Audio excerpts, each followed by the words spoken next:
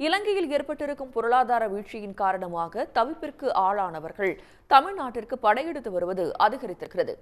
இலங்கையில் கடந்த ஒரு மாதத்திற்கு மேலாக கடுமையான பொருளாதார சிக்கல் ஏற்பட்டு மக்கள் அத்தியாவசிய பொருட்களை வாங்க முடியாமல் கடும் சிரமத்திற்கு உள்ளாகி வருகின்றனர்.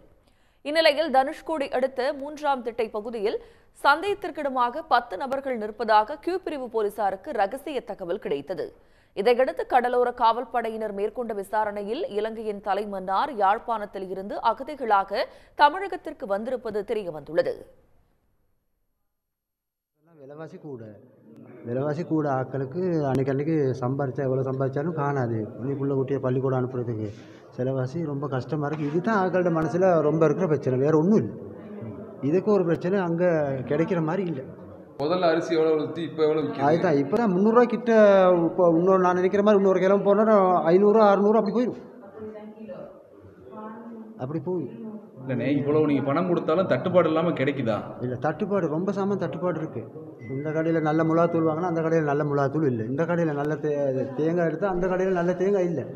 அவங்க அவங்களோட விலைவாசியில் தான் அவங்க அவங்க விற்றுட்டு போகிறாங்க நம்ம பார்த்தோம் இது எங்களுக்கு இயலாது. அப்படின்னு சொல்லிட்டு நம்ம இது க எங்களோட சொந்த ஊரை விட்டு கஷ்டம் நிலைமையால் நாங்கள் இங்கே வந்துட்டோம்.